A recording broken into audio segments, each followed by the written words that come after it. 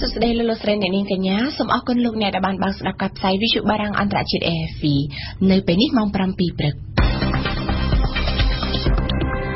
កម្មវិធីព័ត៌មានដោយពុនសុភ័ណ្ឌ ក្រសួងមហាផ្ទៃនឹងពង្រាយកងកម្លាំងជាង37000នាក់សម្រាប់ការបោះឆ្នោតក្រុមប្រឹក្សាគុំសង្កាត់កំណត់ផ្លូវនៅភ្នំពេញត្រូវហាមឃាត់មិនឲ្យហាយក្បួនពេលឃោសនាបោះឆ្នោតនៅក្នុងប្រទេសបារាំងលោកម៉ាក្រុងដាក់ពាក្យប្តឹងបុគ្គលដែលចុះផ្សាយព័ត៌មានចោទថាលោកកិច្ចពុនតលយការនៃកិច្ចចរចាប្រមុខរដ្ឋាភិបាលអាល្លឺម៉ង់នៅមូស្គូនៅក្នុងសប្តាហ៍នេះលោកអូបាម៉ាប្រកាសគាំទ្រលោកម៉ាក្រុងបេក្ខជនប្រធានាធិបតីបារាំង RFI កងសមត្ថកិច្ចជាង37000នាក់នឹងត្រូវដាក់ពង្រាយដើម្បីការពារការិយាល័យបោះឆ្នោត និងរាប់សន្លឹកឆ្នោតនៅក្នុងការបោះឆ្នោតក្រុមប្រឹក្សាគុំសង្កាត់ខាងមុខនេះបើយោងទៅតាមអ្វីដែលអគ្គស្នងការនគរបាលជាតិលោកណេតសាវឿនគូបញ្ជាក់នៅក្នុងកិច្ចប្រជុំបញ្ជាការសន្តិសុខអចិន្ត្រៃយ៍នាថ្ងៃប្រហ័នម្សិលមិញក្រោមវត្តមានលោកសុខេងរដ្ឋមន្ត្រីក្រសួងមហាផ្ទៃនិងលោកសឹកប៊ុនហុកប្រធានកោជប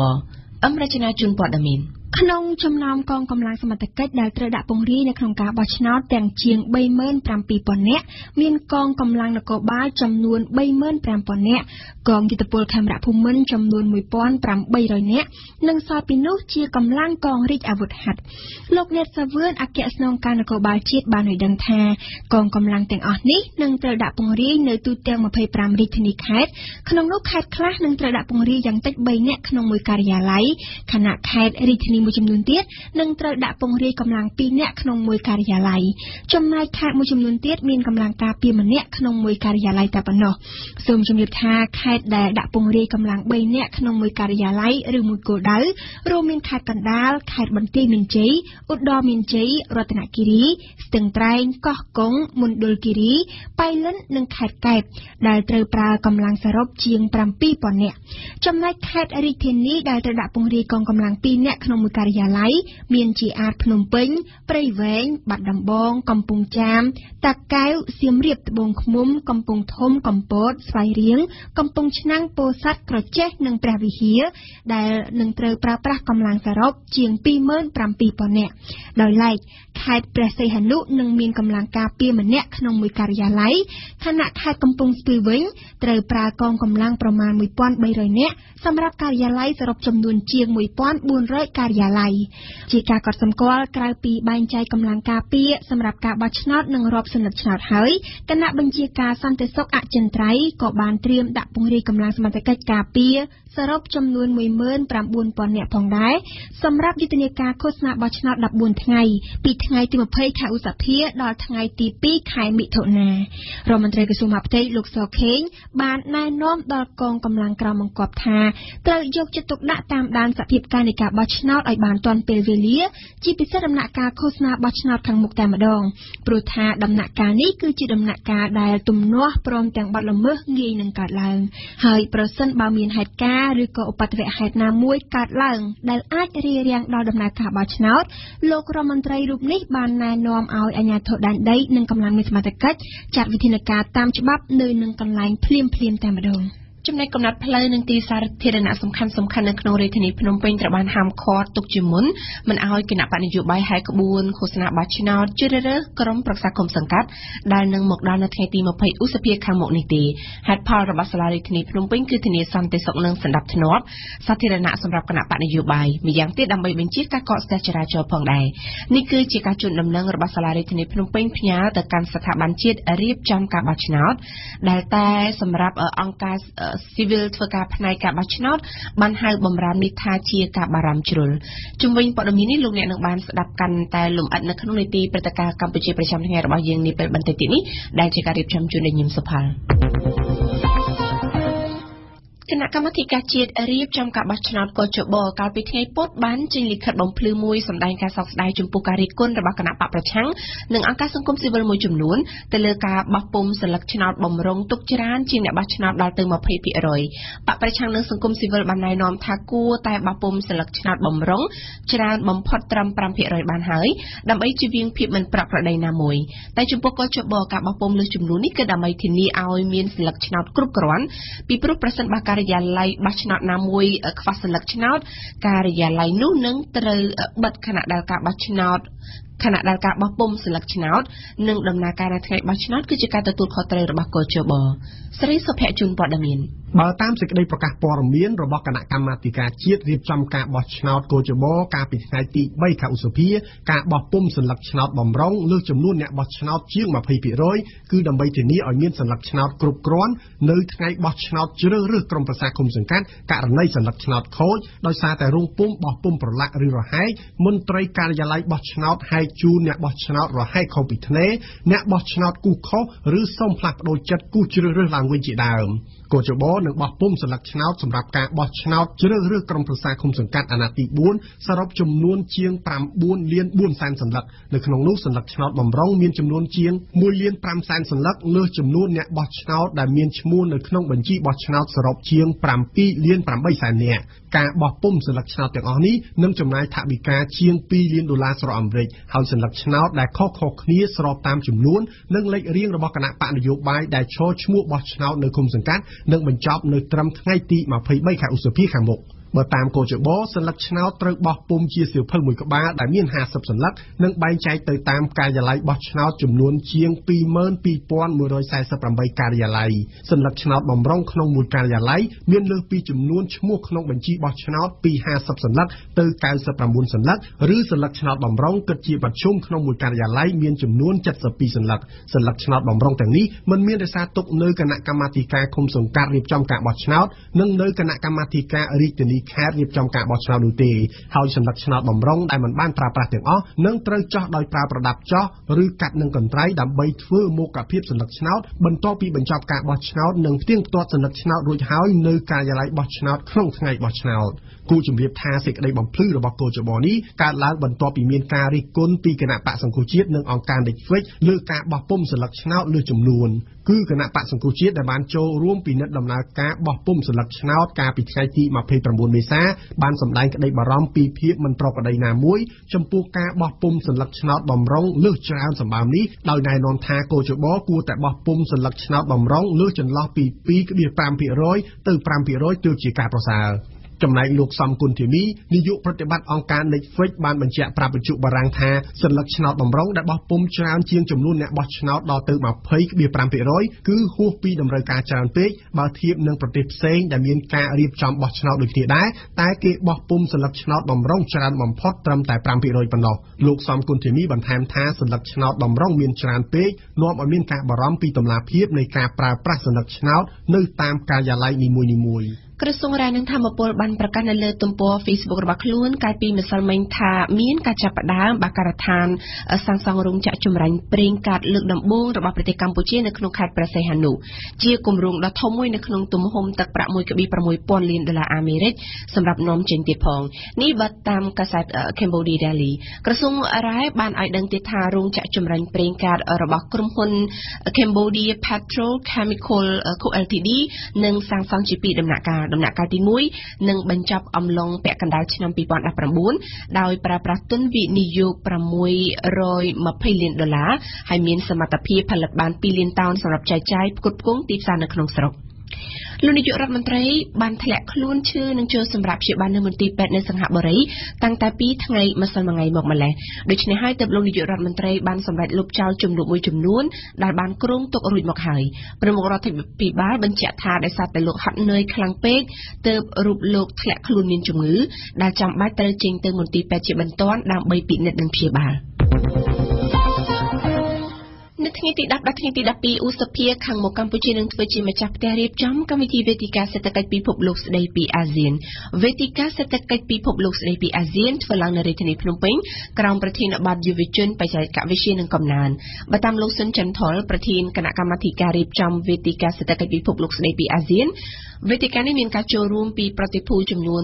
604រូបដែលក្នុងនោះរួមមានលោកប្រធានាធិបតីប្រទេសហ្វីលីពីននាយករដ្ឋមន្ត្រីវៀតណាមនាយករដ្ឋមន្ត្រីប្រទេសឡាវនិងរដ្ឋមន្ត្រីចំនួន18រូបផ្សេងទៀតមកពីជុំវិញពិភពលោកលោកទេសរដ្ឋមន្ត្រីបានកាត់សម្គាល់ថានេះគឺជាឱកាសមាសដ៏មានតម្លៃសម្រាប់កម្ពុជានៅក្នុងការបង្ហាញខ្លួននៅលើឆាកអន្តរជាតិហើយក៏ជាវេទិកាមួយអាចតាក់ទាញវិនិយោគិនបរទេសជាច្រើនបន្ថែមទៀតមកវិនិយោគនៅកម្ពុជាផងដែរ។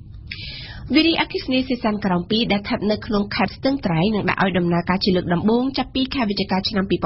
តទៅនេះបើតាមការចុះផ្សាយរបស់សារព័ត៌មានក្នុងស្រុកនៅពេលដែលទំនប់វារីអគ្គិសនីដាក់ឲ្យដំណើរការទាំងស្រុងនោះកម្ពុជានឹងមានប្រភពអគ្គិសនីថ្មីមួយទៀតដែលធំជាងវារីអគ្គិសនីដទៃទៀតនៅក្នុងប្រទេសកម្ពុជា ទំនប់វារីអគ្គិសនីត្រូវបានសាងសង់ឡើងនៅក្នុងទំហំទឹកប្រាក់ប្រមាណ800លានដុល្លារអាមេរិកហើយនៅក្នុងខែវិច្ឆិកាខាងមុខនេះតួប៊ីនទី1នឹងចាប់ផ្ដើមដំណើរផលិតអគ្គិសនីបាន50មេហ្គាវ៉ាត់បើតាមគម្រោងទំនប់វារីអគ្គិសនីសេសានក្រំ2នឹងបញ្ចប់ការសាងសង់នៅឆ្នាំ2018ដែលមានសមត្ថភាពផលិតធម្មពលបានប្រមាណ400មេហ្គាវ៉ាត់ យើងសូមយកមកជំរាបជូនពីព័ត៌មានអន្តរជាតិវិញម្ដងផ្ដើមនិយាយពីប្រទេសបារាំងនៅថ្ងៃប្រហោះនេះតុលាការក្រុងប៉ារីបានបើកការស៊ើបអង្កេតតាក់ទងទៅនឹងព័ត៌មានដែលបានចោទប្រកាន់ថាបេក្ខជនប្រធានាធិបតីអេម៉ានូអែលម៉ាក្រុងគិតពន្ធលួចមានគណនីធនាគារនៅកោះហាម៉ាស់លោកម៉ាក្រុងបានដាក់ពាក្យប្តឹងទៅតុលាការប្រឆាំងទៅនឹងបុគ្គលដែលបានចែកចាយព័ត៌មានទាំងនេះដែលលោកថាជាព័ត៌មានមិនពិតដើម្បីដាក់អធិបុលលើការបោះឆ្នោត។ ព្រំសិនសូលីណាជូនព័ត៌មានពឺស្ដា បេក្ខជនប្រធានាធិបតីបារាំងអេម៉ានូអែលម៉ាក្រុងបានដាក់ពាក្យប្តឹងទៅតុលាការនៅថ្ងៃប្រហ័សម្សិលមិញក្រោយលោកស្រីម៉ារីនលឺប៉ែនជាគូប្រជែងក្នុងការបោះឆ្នោតបានលើកឡើងក្នុងការដេញដោលមតិយប់ថ្ងៃពុធថាលោកម៉ាក្រុងមានគណនីធនាគារនៅកោះបាហាម៉ាស់ដែលស្ថិតនៅភាគខាងជើងការ៉ាអ៊ីបប៉ុន្មានម៉ោងមុនការដេញដោលមតិរវាងបេក្ខជនប្រធានាធិបតីអេម៉ានូអែលម៉ាក្រុងនិងលោកស្រីម៉ារីនលឺប៉ែននិងក្នុងពេលដេញដោលមតិនេះដែរកាលពីយប់ថ្ងៃពុធមានបណ្ដាញសង្គមមួយចំនួនបានចុះផ្សាយឯកសារមានខ្លឹមសារចោទថាលោកម៉ាក្រុងលួចមានគណនីធនាគារដើម្បីគេចពន្ធនៅក្រៅស្រុកដោយឡែកលោកស្រីលឺប៉ែនដែលជាគូប្រជែងនឹងលោកម៉ាក្រុងប្រាប់ថាលោកស្រីគ្រាន់តែសួរសំណួរលោកម៉ាក្រុងប៉ុណ្ណោះតាក់ទងព័ត៌មានទាំងនេះលោកស្រីប្រាប់ថាលោកស្រីក៏គ្មានភ័ស្តុតាងបញ្ជាក់ការចោទប្រកាន់នេះដែរលោកម៉ាក្រុងបានចោទលោកស្រីលឺប៉ែនថាធ្វើឲ្យរាលដាលព័ត៌មានភូតកុហកជាដំណឹងដែលចុះផ្សាយតាម website មួយចំនួនដែលពាក់ព័ន្ធនឹងផលប្រយោជន៍រុស្ស៊ី តកតងរុស្ស៊ីគេនិចាំថាប្រធានាធិបតីពូទីនបានទទួលជួបលោកស្រីលប៉ិនមុនការបោះឆ្នោតជុំទី1នៅបារាំងតកតងនឹងរុស្ស៊ីដែរក្រមជំនាញព័ត៌មានវិទ្យារបស់ជប៉ុនកន្លងមកធ្លាប់សង្ស័យថាក្រមចៅព័ត៌មានវិទ្យាស៊ីឈ្នួលរុស្ស៊ីប៉ុនប៉ងលុកលុយទិន្នន័យអ៊ីនធឺណិតរបស់គណៈបកលោកម៉ាក្រុងតឡាកាបារាំងសម្រេចបើកការអង្កេតបាធំពីបទចុះផ្សាយព័ត៌មានមិនពិតដើម្បីបង្វែរសញ្ញាឆ្នោតនៅបារាំង។ ដូចតែលោកអ្នកបានដឹងហើយថានៅសល់តែប៉ុន្មានថ្ងៃទៀតតែប៉ុណ្ណោះដល់ថ្ងៃបោះឆ្នោតជុំទី2លោកអេម៉ានូអែលម៉ាក្រុងបេក្ខជនប្រធានាធិបតីបារាំងបានទទួលការគាំទ្រពីសំណាក់លោកអូបាម៉ាអតីតប្រធានាធិបតីអាមេរិកនិងអិសរាជជនដ៏មានប្រជាប្រិយភាពមួយរូបនៅក្នុងចំណោមប្រជាជនបារាំងការប្រកាសគាំទ្រលោកអេម៉ានូអែលម៉ាក្រុងត្រូវបានធ្វើឡើងតាមរយៈខ្សែវីដេអូរយៈពេលជាមួយនាទីដែលចុះផ្សាយនៅលើបណ្ដាញសង្គម Twitter សូមស្ដាប់ផ្សេងឌីណា ពីថ្ងៃពុធលោក Donald Trump បានទទួលជួបលោក Mahmoud Abbas ប្រមុខដឹកនាំប៉ាឡេស្ទីននៃឯកតវិមានហើយនៅក្នុងសន្និសីទសព័ត៌មាននៅក្រៅជំនួបលោកប្រធានាធិបតីអាមេរិកបានសន្យាប្រកបដោយសុតិធិនិយមថាលោកនឹងជួយឲ្យអ៊ីស្រាអែលនិងប៉ាឡេស្ទីនបានចុះកិច្ចព្រមព្រៀងសន្តិភាពនឹងគ្នាទោះជាយ៉ាងណាលោកបានបញ្ជាក់បន្ថែមថាកិច្ចព្រមព្រៀងសន្តិភាពនេះចាំបាច់ត្រូវតែការចេញពីអ៊ីស្រាអែលនិងប៉ាឡេស្ទីនខ្លួនឯងផ្ទាល់ដោយមិនមែនមានការចាប់បង្ខំណាមួយពីខាងក្រៅនោះទេអ រិយៈពេលជាច្រើនសប្តាហ៍មកហើយដែលកូរ៉េខាងជើងតែងតែដំឡើងសម្លេងគំរាមសហរដ្ឋអាមេរិកស្ទើរតែជាប់ជាប្រចាំថ្ងៃហើយដែលស្ទើរតែជាទម្លាប់ធ្វើឲ្យគេសាំត្រជាទៅហើយក៏ប៉ុន្តែអ្វីដែលជារឿងចម្លែកមិនធ្លាប់មាននៅថ្ងៃប្រហមម្សិលមិញកូរ៉េខាងជើងស្រាប់តែងាកមកវាយប្រហារចិនដែលជាសម្ព័ន្ធមិត្តដ៏កម្រនិងដ៏សំខាន់របស់ខ្លួនទៅវិញសូមស្ដាប់ផ្សេងទីណាកូរ៉េខាងជើងតាមរយៈប្រព័ន្ធផ្សព្វផ្សាយរបស់រដ្ឋបានធ្វើការព្រមានចិនត្រង់ត្រង់ថាអាចនឹងប្រឈមមុខនឹងផលវិបាកដ៏ធ្ងន់ធ្ងរ ប្រសិនបើចិនធ្វើឲ្យកូរ៉េខាងជើងអស់ភាពអត់ធ្មត់ទ្រាំលែងបាន ការប្រមានបែបនេះត្រូវបានធ្វើឡើងក្រោយពីចិនតែងតែបានបង្ហាញនូវជំហរមិនឯកភាពចំពោះសកម្មភាពរបស់លោកគីមចុងអ៊ុននៅក្នុងការបន្តអភិវឌ្ឍកម្មវិធីផលិតមីស៊ីបាឡីស្ទិកនិងអាវុធនុយក្លេអ៊ែរដែលផ្ទុយពីការហាមឃាត់របស់ក្រុមប្រឹក្សាសន្តិសុខអង្គការសហប្រជាជាតិចិនតែងតែបានអំពាវនាវដល់គ្រប់ភាគីទាំងអស់ដែលមានន័យថាទាំងអាមេរិកនិងទាំងកូរ៉េខាងជើង ឲ្យជៀសវាងនៅរាល់សកម្មភាពឬពាក្យសម្ដីដែលធ្វើឲ្យវិបត្តិនៅឧបទ្វីបកូរ៉េកាន់តែមានសភាពតានតឹងខ្លាំងឡើងថែមទៀតហើយកាលពីខែកុម្ភៈកន្លងទៅនេះចិនថែមទាំងបានប្រកាសផ្អាកការនាំចូលឈូងថ្មពីកូរ៉េខាងជើងថែមទៀតផងនៅក្នុងបទវិចារណកថាចេញផ្សាយនៅថ្ងៃប្រហ័សនេះទីភ្នាក់ងារព័ត៌មានកូរ៉េខាងជើងបានលើកឡើងថាកូរ៉េខាងជើងនឹងមិនអង្វរសម្រក្សាមិត្តភាពជាមួយនឹងចិន ដោយសុខចិត្តលះបង់កម្មវិធីនុយក្លេអ៊ែររបស់ខ្លួននៅឡើយពីព្រោះថាអាវុធនុយក្លេអ៊ែរវាគឺជាអាយុជីវិតរបស់កូរ៉េខាងជើងក្នុងពេលជាមួយគ្នាកូរ៉េខាងជើងក៏បានរំលឹកដល់ចិនផងដែរថាចាប់តាំងពីសម័យសង្គ្រាមកូរ៉េកាលពីដើមទសវត្សរ៍ឆ្នាំ50មកកូរ៉េខាងជើងបានដើរតួនាទីយ៉ាងសំខាន់ជាប្រទេសទ្រនាប់ការពារចិនពីសំណាក់សហរដ្ឋអាមេរិកដូច្នេះចិនគួរតែអរគុណកូរ៉េខាងជើងទៅវិញដែលបានជួយក្នុងការរក្សាសន្តិភាពនិងសន្តិសុខជាតិរបស់ចិន ឆ្លើយតបមកវិញកាសែត The Global Times ដែលជាកាសែតផ្លូវការរបស់បកកុម្មុយនីសចិនបានបរិហារិះគន់របបដឹកនាំក្រុងភ្យុងយ៉ាង ថាកំពុងតែងប់នឹងកម្មវិធីនុយក្លេអ៊ែរនិងគំនិតជាតិនិយមជ្រុលរបស់ខ្លួន រហូតលែងដឹងខុសត្រូវហើយថារដ្ឋាភិបាលចិនគួរតែបញ្ជាក់ប្រាប់ទៅមេដឹកនាំកូរ៉េខាងជើងឲ្យបានច្បាស់ៗថាចិននឹងចាត់វិធានការធ្ងន់ធ្ងរបំផុតមិនធ្លាប់មានចំពោះកូរ៉េខាងជើងប្រសិនបើកូរ៉េខាងជើងធ្វើការសាកល្បងអាវុធនុយក្លេអ៊ែរសារជាថ្មីម្ដងទៀត ការចុះផ្សាយបទវិចារណកថាលើកាសែតផ្លូវការវាប្រហារគ្នាទៅវិញទៅមកបែបនេះវាគឺជាសញ្ញាបញ្ជាក់ឲ្យឃើញកាន់តែច្បាស់ពីភាពតានតឹងដ៏ខ្លាំងកម្រមានរវាងប្រទេសជាសម្ព័ន្ធមិត្តទាំងពីរ ចំណុចតម្រូវការធម្មពលសម្រាប់ការអភិវឌ្ឍប្រទេសភូមិគឺចាំបាច់ណាស់ប៉ុន្តែផ្សែងកាត់ចេញពីការដុតធ្យូងថ្មដើម្បីប្រើប្រាស់អាចសម្លាប់មនុស្សប្រមាណ250,000អ្នកនៅក្នុងសតវត្សខាងមុខនេះបើតាមការលើកឡើងរបស់អ្នកបរិស្ថាននិយមនៅថ្ងៃប្រហោះនេះតាមរយៈការសិក្សាស្រាវជ្រាវថ្មីមួយរបស់សាកលវិទ្យាល័យ Harvard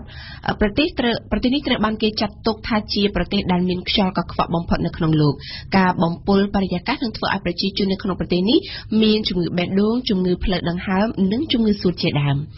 យើងបញ្ចប់ព័ត៌មានអន្តរជាតិនិយាយពីចលនាបាតកម្មប្រឆាំងនឹងរដ្ឋាភិបាលនៅវេណេស៊ុយអេឡានៅតែបន្តកើតមាននៅថ្ងៃប្រហោះនៅក្នុងពេលដែលចំនួនអ្នកស្លាប់នៅក្នុងចលនាតវ៉ាប្រឆាំងនៅក្នុងរយៈពេល1ខែកន្លងទៅនេះបានកើនឡើងគិតជាសរុបដល់ទៅជាង30នាក់នៅក្នុងពេលជាមួយគ្នានេះសមាជិកសភាអាមេរិកបានគម្រាមចង់ដាក់ទណ្ឌកម្មលើវេណេស៊ុយអេឡាជុំវិញវិបត្តិនេះផងដែរ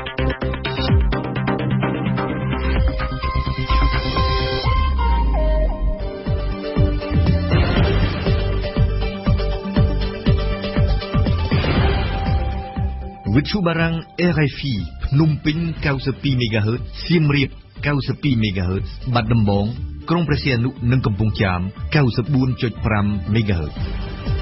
លោកអ្នកនាងកំពុងស្ដាប់កម្មវិធីព័ត៌មានរបស់វិទ្យុបារាំងអន្តរជាតិ AFP ជាបន្តទៅទៀតនេះលោកអ្នកនាងនឹងបានស្ដាប់ដំបូងគឺជានីតិព្រឹត្តិការណ៍កម្ពុជាប្រចាំថ្ងៃរៀបចំជួយដោយញឹមសុផលនៅថ្ងៃនេះសុផលលើកឡើងពីថាតើការហែក្បួនឃោសនាតាមផ្លូវនៅទីប្រជុំជនមួយចំនួនបង្ហាញពីការរៀបរៀងដំណើរការរៀបចំការបោះឆ្នោតឬបន្តមកគឺជានីតិទស្សនៈព្រឹត្តិការណ៍កម្ពុជាអមរជនាសំជួនបទវិភាគស្ដីពីអ្នកជំនាញរំលឹកយុវជនឲ្យប្រយ័ត្ននៅពេលចូលរួមនៅក្នុងវិស័យនយោបាយនីតិទស្សនៈព្រឹត្តិការណ៍ពិភពលោករបស់យើងនៅថ្ងៃនេះហើយឆាយានឹងជួបខ្លួនមកអន្តរាគមជុំវិញតលយការនៃកិច្ចចរចាប្រមុខរដ្ឋាភិបាលអាល្លឺម៉ង់នៅមូស្គូនៅក្នុងសប្តាហ៍នេះនីតិទស្សនៈសារព័ត៌មាននៅថ្ងៃនេះគឺជាការរៀបចំជូនដោយសឿងភិរៈនិងនៅចុងបញ្ចប់នៃកម្មវិធីរបស់យើងគឺជានីតិបទយកការរបស់សុនមេសាព្រឹត្តិការណ៍កម្ពុជាប្រចាំថ្ងៃ កំណត់ផ្លូវនិងមហាវិថីចំនួន9ទីប្រជុំជនដែលជាផ្សារធំធំចំនួន6និងទីសាធារណៈដូចជាសួនច្បារជាដើមចំនួន7ត្រូវបានសាលារដ្ឋាភិបាលភ្នំពេញស្នើទៅប្រធានគណៈកម្មការរៀបចំការបោះឆ្នោតរាជធានីភ្នំពេញធ្វើការណែនាំដល់គណៈបកនយោបាយដើម្បីបញ្ជាការប្រមូលផ្ដុំនិងដង្ហែក្បួនឃោសនាតាមកំណត់ផ្លូវនិងតំបន់ទាំងនេះដែលឡៃគណៈបកនយោបាយនិងសង្គមស៊ីវិលក៏មានទស្សនៈផ្ទុយគ្នាដែរជំវិញហេតុផលរបស់សាលារដ្ឋាភិបាលដែលថាដើម្បីរក្សាសន្តិសុខសណ្ដាប់ធ្នាប់សាធារណៈនិងបញ្ជាការកកស្ទះចរាចរណ៍សូមអញ្ជើញស្ដាប់សេចក្តីរាយការណ៍របស់ញឹមសុផាល់ជំវិញការស្នើរបស់អាជ្ញាធររាជធានីភ្នំពេញទៅកាន់គណៈកម្មការរៀបចំការបោះឆ្នោតរាជធានីភ្នំពេញឲ្យមានការហាមឃាត់គណៈបកនយោបាយជួបជុំនិងហែក្បួនឃោសនាតាមកំណត់ផ្លូវនិងទីប្រជុំជនមួយចំនួននៅភ្នំពេញនោះលោកស្រីមេងសុភារីប្រធាននាយកដ្ឋានកិច្ចការបោះឆ្នោតនិងនីតិកម្មគណៈបកសង្គ្រោះជាតិលើកឡើងថានៅក្នុងច្បាប់ ដីពីការបោះឆ្នោតជ្រើសរើសក្រុមប្រឹក្សាឃុំសង្កាត់ហ្នឹងគឺថាការឃោសនាអាចធ្វើនៅតាមទីសាធារណៈសួនសាធារណៈអីបានចាអញ្ចឹងហើយបើសិនជាមានការហាមឃាត់មានន័យថាហាក់បីដូចជាការបិទ ចំពោះយុទ្ធនាការឃោសនាបោះឆ្នោតអញ្ចឹងព្រោះថាយុទ្ធនាការឃោសនាបោះឆ្នោតគឺជាការជាងកសម្លេងពីប្រជាពលរដ្ឋនិងពន្យល់ប្រជាពលរដ្ឋអំពីគោលនយោបាយរបស់គណៈបកមួយរបស់បេក្ខជនមួយទៅប្រជាពលរដ្ឋដែលរស់នៅក្នុងគុំសង្កាត់ហ្នឹងឲ្យបានស្គាល់អំពីគោលនយោបាយនៃបកនោះហើយទីសាធារណៈទាំងអស់នោះគឺសុទ្ធតែជាទីប្រជុំជនដូច្នេះហើយកាលណាអត់បានឃោសនានៅទីប្រជុំជនដូច្នេះមានន័យថាអឺ សារសម្លេងរបស់យើងនឹងវាហាក់បីដូចជាមិនសូវបានទូលំទូលាយផ្សព្វផ្សាយទៅដល់ពលរដ្ឋពីព្រោះថាពលរដ្ឋជាច្រើនគឺនៅទីប្រជុំជនហ្នឹងហើយដូចជានៅតាមផ្សារអីហ្នឹងគឺទាំងអ្នកលក់ទាំងអ្នកទិញគឺប្រមូលផ្ដុំគ្នានៅទីនោះលោកមេតមាសភក្តីអ្នកនាំពាក្យសាលារាជធានីភ្នំពេញពន្យល់យើងនិយាយថាទម្លាប់ជារឿងមួយអ្វីដែលធ្លាប់ក៏ប៉ុន្តែតទៀតយើងត្រូវគិតអំពីច្បាប់ ឬក៏ការណែនាំដែលស្របនឹងច្បាប់ឧទាហរណ៍ដូចជាការឃោសនារបស់យើងថ្មីនេះដោយមិនឲ្យឆ្លងខាងឧទាហរណ៍អានេះវាខុសពីទម្លាប់ដែរហើយចឹងត្រឡប់មកវិញពាក់ព័ន្ធជាមួយតម្រាយផ្លូវនេះគឺយើងអត់មានបំណងឬក៏មានកិច្ចការដែលចង់ធ្វើឲ្យមានការរាំងស្ទះនៃបរិយាកាសនៃការឃោសនារបស់ឆ្នោតទេអ្នកនាំពាក្យគណៈបកប្រជាជនកម្ពុជាលោកសុសយ៉ារ៉ាមិនជំទាស់នឹងយល់ពីហេតុផលរបស់អាជ្ញាធររាជធានីភ្នំពេញ បើសិនជាអាជ្ញាធរមូលដ្ឋានគាត់លើកជាការមួយដែលគាត់បារម្ភអំពីករណីអីដែលកើតឡើងផ្សេងផ្សេងគឺយើងទៅគោរពទៅតាមអាជ្ញាធរដែលគេបានណែនាំបាទឆ្ងាយគណៈបព្វជិនមិនមានយល់តោះអីទេបាទយើងខ្ញុំយល់ថាអាជ្ញាធរលោកតែងតែគិតគូរពីផលប្រយោជន៍សាធារណៈអញ្ចឹងអ្វីដែលអាជ្ញាធរណែនាំយើងជាគណៈបព្វនយោបាយយើងគួរតែគោរពតាមហើយនឹងអនុវត្តតាមឲ្យបានល្អព្រោះមិនមែនតែដើម្បីផលប្រយោជន៍គណៈបព្វទេដើម្បីសាធារណជនដែលជាប្រជាជននៅរស់នៅជីវិតប្រចាំថ្ងៃផងដែរអញ្ចឹងគឺជាការគោរពដល់ជីវិតប្រចាំថ្ងៃរបស់ប្រជាជនលោកសួនសេរីរដ្ឋាប្រធានគណៈបកអំណាចខ្មែរចង់ឲ្យមានការកំណត់ឲ្យបានច្បាស់លាស់វាគឺជាហេតុផលមួយដែលវាអត់មានតុល្យភាពពីព្រោះយើងគួរតែមានច្បាប់នៅក្នុងប្រទេសរបស់យើងបើសិនជាអនុញ្ញាតច្បាប់នឹងអនុញ្ញាតឲ្យហែគឺថាគេហែកន្លែងណាហែទៅ អានឹងគឺជាសេរីភាពរបស់គេពីព្រោះយើងមានច្បាប់អនុញ្ញាតឲ្យហែប៉ុន្តែបើយើងមិនមានច្បាប់អនុញ្ញាតឲ្យហែទេយើងគួរមានច្បាប់មួយថាគ្រប់គណៈបកទាំងអស់គឺមិនឲ្យហែទេគឺឲ្យឡើងជជែកបេក្ខជននិងបេក្ខជនជជែកទេទៅប៉ុន្តែចំពោះគណៈបកអំណាចខ្មែរខាងខ្ញុំគឺខ្ញុំអនុវត្តគោលការណ៍ឯកជនរបស់គណៈបកគោលការណ៍របស់គណៈបកគឺយើងមិនហែទេគឺយើងដើរតាមផ្ទះពីផ្ទះមួយទៅផ្ទះមួយប៉ុន្តែចំពោះការដែលមានច្បាប់ឲ្យហែហើយបែរជាចេញការហាមឃាត់ឬក៏ស្នើឃាត់វិញហ្នឹងអានឹងវាអត់ត្រឹមត្រូវទេបើមិនជាមានច្បាប់ឲ្យហែអញ្ចឹងហើយកំណត់នីតិវិធីឃោសនាបោះឆ្នោតឲ្យហែអញ្ចឹងហើយអានឹងឲ្យហែគ្រប់កន្លែងគ្រប់ផ្លូវទៅមិនត្រូវហាមឃាត់គេទេហើយក្នុងនាមអាជ្ញាធរគឺត្រូវតែធ្វើយ៉ាងម៉េចសម្រួលហើយការពារកុំឲ្យមានបញ្ហាកើតឡើងជាមួយគ្នានេះលោកសំគុណធីមីនាយកប្រតិបត្តិគណៈកម្មាធិការអព្យាក្រឹតនិងយុតិធធដើម្បីការបោះឆ្នោតដោយសេរីនិងត្រឹមត្រូវនៅកម្ពុជា NICFEC លើកឡើងថាយើងមានប៉ូលីសមានអីសម្រួលចរាចរណ៍ហើយមានសន្តិសុខណាស់ធ្វើទូរទីអាជ្ញាធរអឺក្រុមសន្តិសុខផ្ដល់សន្តិសុខអីគេឃោសនាតែសារសន្តិសុខសម្រាប់ខ្នងអីហ្នឹងតំបន់ខ្លះគេត្រូវទៅធ្វើផ្ទះផ្លូវមកហាមឲ្យធ្វើផ្លូវផ្ទះផ្លូវធំមិនបានយើងមានតែកម្លាំងអាជ្ញាធរមានសន្តិសុខមានសម្រាប់ខ្នងអីទាំងអស់ប៉ូលីសចរាចរណ៍មានតែគេសម្រួលចរាចរណ៍គេទៅគឺទឹកវត្តភាពអញ្ចឹងឲ្យគ្នាជួយឃោសនាគឺសំខាន់ណាស់បងគណៈបកបើកម្រិតព្រំដែននៅគ្នាអញ្ចឹងមិនបានហើយហើយក្បួនបាន12ដងគឺគណៈបកមួយណាក្នុងឃុំប្រចាំមួយមួយប៉ុណ្្នឹងហើយមិនឲ្យគ្នាអញ្ចឹង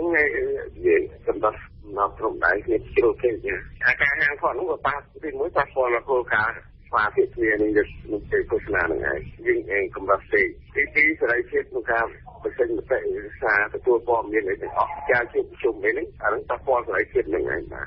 លោកមេតមាសភក្តីបន្តលើកការបញ្យល់ថាស្ថានភាពកកស្ទះនិងភាពចាំបាច់ក្នុងការប្រើប្រាស់ផ្លូវសំខាន់សំខាន់សម្រាប់ដំណើរផ្លូវការរបស់អ្នកការទូតនិងផ្លូវដែលមានភាពមមាញឹកគឺជាអ្វីដែលសាលារាជធានីភ្នំពេញត្រូវគិតគូរសេចក្តីជួយដំណឹងឬក៏កិច្ចការដែលយើងធ្វើក្នុងការកំណត់សម្រាប់ផ្លូវឬក៏កំណត់ផ្លូវមួយចំនួន ដែលមិនអនុញ្ញាតឲ្យមានការឆ្លាក់ហែឆ្លងហ្នឹងណាគឺគ្រាន់តែដើម្បីធ្វើយ៉ាងណាបញ្ជា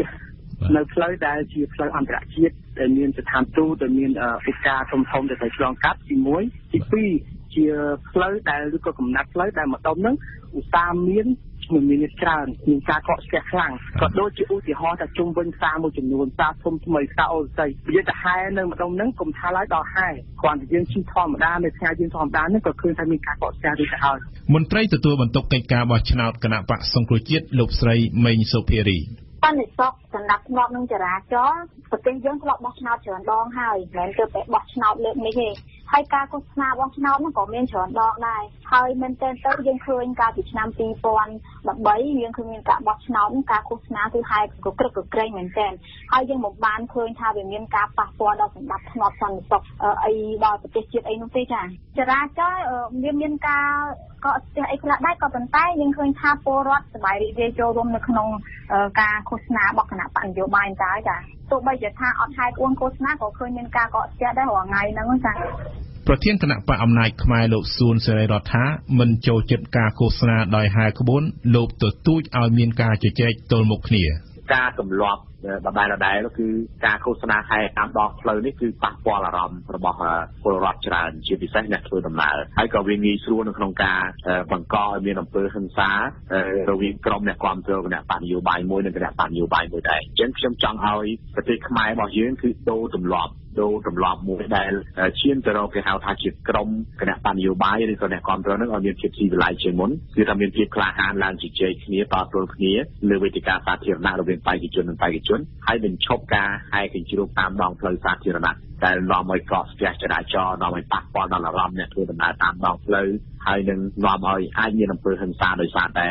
ការប្រកាន់គណៈបកនយោបាយរៀងៗខ្លួនសម្រាប់អ្នកនាំពាក្យគណៈបកប្រជាជនកម្ពុជាលោកសួសយ៉ារ៉ានៅតែមានការគ្រប់គ្រងគោលបំណងរបស់សាលារាជធានីភ្នំពេញដោយសារកំណើនមនុស្សនិងយានយន្តកើនឡើង។ បងប្អូនយើងគាត់លើកឡើងយ៉ាងម៉េចក៏ស្រិតចិត្តរបស់គាត់ទៅប៉ុន្តែចំនួនប្រជាជនក៏មិនដូចពីមុនចំនួនមធ្យោបាយធ្វើចរាចរណ៍ក៏មិនដូចពីមុនហើយដោយសារ បច្ចុប្បន្ននេះក៏យើងមានការបារម្ភជាទូទៅដែរដើម្បីសុខភាពរបស់ប្រជាជនទៀតអញ្ចឹងខ្ញុំគិតថាការលើកឡើងជាជាជាមតិបុគ្គលប៉ុន្តែជាគោលផលប្រយោជន៍សាធារណៈខ្ញុំគិតថាមិនខុសទេដែលសាលារាជធានីលើកឡើងប្រសិនបើកោជបយល់ព្រមតាមការស្នើសុំរបស់សាលារាជធានីភ្នំពេញមែននោះលោកស្រីមេងសុភារីនឹងធ្វើការជំទាស់យើងច្បាស់ជាមានការសុំតវ៉ាហើយដោយសារថាច្បាប់អត់បានហាមឃាត់ទេនៅទីកន្លែងប្រជុំជនទាំងអស់នោះចា៎ អញ្ចឹងយើងសូមឲ្យមានការអនុវត្តទៅតាមច្បាប់ពីព្រោះសេចក្តីជូនដំណឹងគឺមានឋានៈនុក្រមនៅក្រមច្បាប់ទេចាក្នុងឱកាសនេះខ្ញុំស្នើសូមនឹងសំណូមពរទៅដល់ស្ថាប័នកោយោបសូមឲ្យពិនិត្យពិចារណាផ្អែកទៅលើច្បាប់ជាគោលហើយសូមក្រានចោលនៅសេចក្តីជូនដំណឹងនេះចាពីព្រោះថាវាវាប៉ះពាល់ទៅដល់សិទ្ធិនៅក្នុងការហែក្បួនឃោសនាដែលបានកំណត់ទៅដោយច្បាប់ចា លោកមេតមាសភក្តីឲ្យដឹងថាអ្វីដែលសាលារាជធានីភ្នំពេញបានធ្វើគឺដើម្បីជួយសម្រួលទៅដល់គណៈបកនយោបាយទៅវិញទេកុំឲ្យមានការជាប់គាំងនៅពេលដែលគណៈបកនយោបាយធ្វើការហែក្បួន អ្វីដែលយើងធ្វើនេះគឺគ្រាន់តែថាធ្វើម៉េចឲ្យបរិយាកាសនៃការឃោសនារបស់ឆ្នោតនេះដំណើរការទៅបានដល់រលូនព្រោះកំណត់ផ្លូវយើងតែមួយចំនួនទេដែលយើងហាម5ហ្នឹងហើយក្រៅពីហ្នឹងយើងអាចជួយចរាចរណ៍នៃការឃោសនាបានដោយធម្មតាធម្មតាកិច្ចការដែលយើងធ្វើក្នុងការកំណត់តម្រៃផ្លូវមួយចំនួនក៏ជាការសម្រួលកុំឲ្យតម្រៃផ្លូវកុំឲ្យក្បួននៃការឃោសនារបស់គណៈបកណាមួយនោះគាត់ត្រូវបានបង្អាក់គាត់ត្រូវបានបង្អង់ដោយការកកស្ទះនឹងម្ដុំនឹងបញ្ច្រាស់ទៅវិញផងនៅយើងជួយសម្រួលបានជាងវិញផងហើយក៏ដើម្បីឲ្យម្ដុំនឹងមិនមានការកកស្ទះខ្លាំងពីក្បួនដែលឃោសនារបស់ឆោតហ្នឹងព្រោះសម្រាប់គឺដែលយើងកំណត់នេះมันมันមានការកំណត់ច្រើននៃការហាម5ទេហើយផ្លូវមួយចំនួនក៏យើងមិនបានកំណត់នៃការហាមឆ្លងកាត់ផ្លូវនឹងទាំងមូលដែរគ្រាន់តែជាកំណត់ផ្លូវត្រង់តំណាងបន្តិចត្រង់តំណាងបន្តិច ហ្នឹងដើម្បីបញ្ជានៃការកកស្ទះខ្លាំងទៅប៉ុណ្ណឹងបាទកម្មវិធីនេះសហការឧបត្ថម្ភដោយកែមប្រូប៊ីយ៉ូទិកជាផលិតផលធម្មជាតិ100%មានប្រសិទ្ធភាពខ្ពស់ដល់សុខភាពដូចជាសម្រួលដល់ការរំលាយអាហារ បំបត្តិ stress ធ្វើឲ្យពិសាបាយបានសម្រានលក់ស្រួល និងបំបត្តិការឈឺសន្លាក់ឆ្អឹងកែមប្រូប៊ីយ៉ូទិកជាផលិតផល PPM និង Conferel ហើយចែកចាយដោយក្រុមហ៊ុន DKSH សាកលវិទ្យាល័យឯកទេសនៅកម្ពុជា CUS សិក្សាដើម្បីគុណភាពសិក្សាដើម្បីសមត្ថភាពវិជ្ជាជីវៈសិក្សានៅ CUS Sinvenju ជាក្រុមហ៊ុនតែមួយគត់ដែលនាំផ្ដាច់មុខកាហ្វេពីប៉ៃលិននិងមណ្ឌលគិរីគ្រឹះស្ថានមីក្រូហិរញ្ញវត្ថុ LOLC ដើម្បីគំនិតរីកចម្រើនសាលារៀនអន្តរជាតិអាមេរិកកាំង AIS ជាសាលាចំណេះទូទៅខ្មែរដែលផ្ដោតទៅលើគុណភាពវិន័យនិងសេវាកម្ម AIS សូមលើកទឹកចិត្តរាល់ការយោគយល់អធិស្ឋានគ្នាទាំងឡាយនៅក្នុងសង្គម ទេសនាព្រឹត្តិការណ៍កម្ពុជានៅសល់តែមួយខែទៀតប៉ុណ្ណោះការបោះឆ្នោតក្រុមប្រឹក្សាគុំសង្កាត់នឹងឈានជូនមកដល់នៅក្នុងឱកាសនេះអ្នកជំនាញបានរំលឹកយុវជនឲ្យប្រុងប្រយ័ត្ននៅពេលចូលរួមនៅក្នុងវិស័យនយោបាយសម្រាប់អ្នកជំនាញការចូលរួមរបស់យុវជននៅក្នុងវិស័យនយោបាយគឺជាសកម្មភាពដ៏សំខាន់និងចាំបាច់ដើម្បីចូលរួមចំណែកអភិវឌ្ឍប្រទេសជាតិប៉ុន្តែយុវជនត្រូវពិចារណាឲ្យច្បាស់លាស់ដែរមុននឹងសម្រាប់ចូលរួមដើម្បីជៀសវាងធ្លាក់ខ្លួនទៅជាឈ្នន់របស់អ្នកនយោបាយទុច្ចរិតយើងស្ដាប់អឹមរចនា ក្នុងចំណោមប្រជាជនសរុបនៅកម្ពុជាប្រមាណ 15 លាននាក់ មានជិត 70%ដែលមានអាយុក្រោម 30 ឆ្នាំ ដោយឡែកនៅក្នុងការបោះឆ្នោតក្រុមប្រឹក្សាឃុំសង្កាត់ខាងមុខវិញ យុវជនដែលមានអាយុពី 18 ដល់ 30 ឆ្នាំ មានចំនួន2លាន6សែននាក់ ឬស្មើនឹងប្រមាណ 33%នៃចំនួនអ្នកចូលឈ្មោះបោះឆ្នោតទាំងអស់ប្រមាណ7លាន8សែននាក់ ជាការកត់សម្គាល់បច្ចុប្បន្ននេះការចូលរួមរបស់យុវជនខ្មែរនៅក្នុងឆាកនយោបាយមានលក្ខណៈសកម្មជាងពេលណាណាទាំងអស់យុវជនចាប់ផ្ដើមស្គាល់តម្លៃនៃសញ្ញាឆ្នោតរបស់ខ្លួន ពួកគេចូលរួមការបោះឆ្នោតចុះផ្លូវធ្វើបាតកម្មតវ៉ាតាមដាននិងនាំគ្នាជជែកពីបញ្ហានយោបាយតាមប្រព័ន្ធផ្សព្វផ្សាយនានានិន្នាការនៃការចូលរួមរបស់យុវជននៅក្នុងវិស័យនយោបាយដូច្នេះ ទំនងជាបន្តកើនឡើងទៀតដោយសារតែការយល់ដឹងពីសិទ្ធិក៏ដូចជាស្ថានភាពអំណោយផលនៃបណ្ដាញផ្សព្វផ្សាយសង្គម Facebook ដោយសារតែយុវជនជាបុគ្គលដែលមានសក្តានុពលខ្លាំងក្នុងផ្នែកចំណេះដឹង និងការចូលរួមនៅក្នុងសកម្មភាពសង្គមនិងនយោបាយពួកគេបានក្លាយខ្លួនទៅជាផ្ទាំងស៊ីបជាគោលដៅរបស់អ្នកនយោបាយក្នុងការស្វែងរកសម្លេងគ្រប់គ្រងនៅក្នុងបរិបទបែបនេះអ្នកជំនាញមួយចំនួនបានផ្ដល់យោបល់ឲ្យយុវជនសម្រាប់ចិត្តដោយប្រុងប្រយ័ត្នធ្វើយ៉ាងណាកុំបណ្ដោយខ្លួនឯងឲ្យคล้ายទៅជាឈ្នន់សម្រាប់អ្នកនយោបាយឬคล้ายទៅជាឧបករណ៍បម្រើនយោបាយឲ្យសោះ សម្រាប់អ្នកជំនាញយុវជនគួរតែចូលប្រឡូកនៅក្នុងវិស័យនយោបាយដោយខ្លំមើលការអនុវត្តនយោបាយក្រោយការបោះឆ្នោតថាតើការសន្យារបស់គណៈបកនយោបាយទាំងនោះត្រូវបានបំពេញនៅក្នុងកម្រិតណាហើយប្រសិនបើគណៈបកនយោបាយមិនបានបំពេញតាមអ្វីដែលបានសន្យាទេនោះយុវជនអាចពិចារណាឡើងវិញនៅពេលបោះឆ្នោតលើកក្រោយទៀតយុវជនគួរតែជជែកដេញដោលគ្នាអំពីគោលនយោបាយរបស់គណៈបក ដែលពាក់ព័ន្ធទៅនឹងបញ្ហាជាតិសំខាន់សំខាន់ដើម្បីអាចសម្រេចចិត្តបានថាតើត្រូវជ្រើសរើសគណៈបកមួយណាឲ្យឡើងកាន់អំណាចជាការពិតការសម្រេចចិត្តរបស់យុវជន ដើម្បីគ្រប់គ្រងចូលរួមឬបម្រើគណៈបកនយោបាយណាមួយ គឺជារឿងសំខាន់បំផុតយុវជនគួរពិចារណាទៅលើគោលនយោបាយនិងការអនុវត្តរបស់គណៈបកជាជាងជឿជាក់យ៉ាងផ្កាប់មុខទៅលើគណៈបកណាមួយ ការជឿជាក់ផ្កាប់មុខដោយឥតពិចារណាចំពោះគណៈបកណាមួយអាចធ្វើឲ្យយុវជនធ្លាក់ខ្លួនទៅជាឧបករណ៍នយោបាយឬជាឈ្នន់សម្រាប់អ្នកនយោបាយដែលអនុញ្ញាតឲ្យគណៈបកនោះ បង្វិលពង្វក់និងបញ្ជាតាមអំពើចិត្តដោយងាយស្រួលជាទីបំផុត វាជារឿងល្អប្រសិនបើគណៈបកដែលយុវជនជឿជាក់នោះគិតគូរពីផលប្រយោជន៍ប្រទេសជាតិហើយពង្វក់ឲ្យយុវជនងប់ងល់ក្នុងការងារបម្រើប្រទេសជាតិផ្ទុយទៅវិញប្រសិនបើយុវជនធ្លាក់ខ្លួនជឿទៅលើប្រជាពិធរបស់អ្នកនយោបាយទុច្ចរិតនោះវិបត្តិសង្គមអាចនឹងកើតមានឡើងក៏ថាបានព្រោះសូមកុំភ្លេចថាយុវជនគឺជាជំពូកមនុស្សដែលមានសក្តានុពលខ្លាំងនៅក្នុងគ្រប់ការងារទាំងអស់ដែលពួកគេសម្រេចចិត្តចូលប្រឡូកកម្លាំងនិងធម៌ពលរបស់យុវជន ដែលបម្រើបកនយោបាយទុច្ចរិតមិនត្រឹមតែមិនបានរួមចំណែកអភិវឌ្ឍប្រទេសជាតិទេវាថែមទាំងអាចរុញឲ្យប្រទេសធ្លាក់ចូលទៅក្នុងភាពវឹកវរទៀតផងសរុបមកវិញយុវជនត្រូវតែពិចារណាឲ្យបានម៉ត់ចត់មុនពេលសម្រេចចិត្តគ្រប់គ្រងចូលរួមឬក៏បម្រើគណៈបកនយោបាយណាមួយ ការសម្រេចចិត្តគួរតែធ្វើឡើងដោយផ្អែកទៅលើគោលនយោបាយ និងការអនុវត្តរបស់គណៈបកនោះផ្ទាល់ ជៀសវាងសម្រេចចិត្តផ្អែកតាមអារម្មណ៍ ឬការជឿជាក់ទៅលើការឃោសនាប្រជាពិធយុវជន គឺជាសសរទ្រូងនៃប្រទេសជាតិជាទំពាំងស្នងរាសីនិងជាកម្លាំងចលករដ៏សំខាន់ក្នុងការចូលរួមសម្រេចចិត្តជោគវាសនារបស់ប្រទេសជាតិការសម្រេចចិត្តដ៏ត្រឹមត្រូវនឹងនាំឲ្យជាតិរុងរឿងខណៈការសម្រេចចិត្តខុសរបស់យុវជនអាចធ្វើឲ្យប្រទេសជាតិធ្លាក់ទៅក្នុងគ្រោះមហន្តរាយទន្ទឹមនឹងការចូលរួមនៅក្នុងវិស័យនយោបាយយុវជនខ្លួនឯងក៏ត្រូវព្យាយាមពង្រឹងនិងពង្រីកសមត្ថភាពរបស់ខ្លួនបន្ថែមទៀតដែរដើម្បីរួមចំណែកកសាងជាតិឲ្យលូតលាស់ទៅមុខប្រកបដោយវឌ្ឍនភាព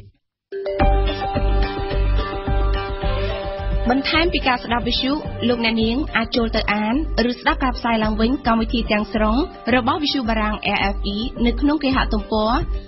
www.khmer.orfi.fr ឬជាភាសាបារាំង www